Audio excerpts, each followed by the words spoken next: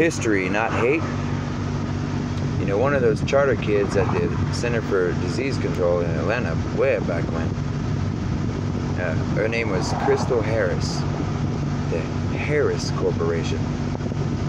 You know, what she was trying to tell me is when I went down south, because they'd done off my higher functions, that there was going to be some people harassing me.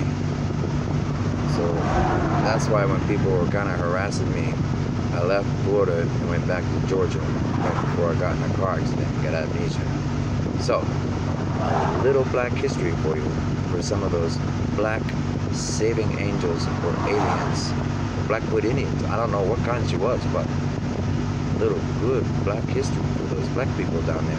They can start spreading good rumors and memories with new stories. So, you guys hang in there and hang tight. Hey, and if you're on the road, buckle up.